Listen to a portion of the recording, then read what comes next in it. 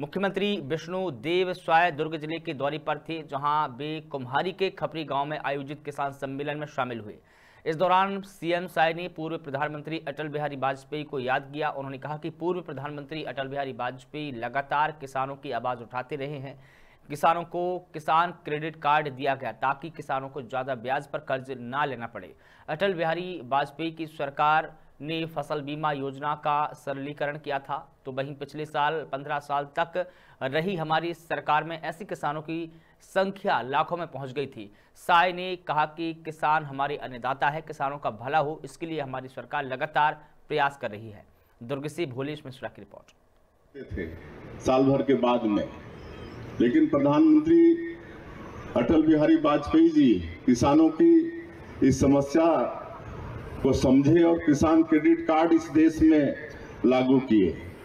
और कम ब्याज में किसानों को पूंजी मिलना प्रारंभ हुआ, जिसको हमारे छत्तीसगढ़ के मुखिया उस समय के doctor Raman Singh ji, cooperative bank में किसान क्रेडिट कार्ड में इंटरेस्ट ज़ीरो परसेंट कर दिए थे। ये थे कि नहीं? तो कितना बड़ा भला हुआ किसानों का। अच्छा खेती करने के लिए उनको पूंजी मुहैया होना शुरू हुआ। फ़सल बीमा योजना पहले से इस देश में था, लेकिन अटल बिहारी वाजपेयी जी के समय ही ये फ़सल बीमा का भी सरलीकरण हुआ और ज़्यादा किसान फ़सल बीमा योजना से लाभ लेना शुरू किए।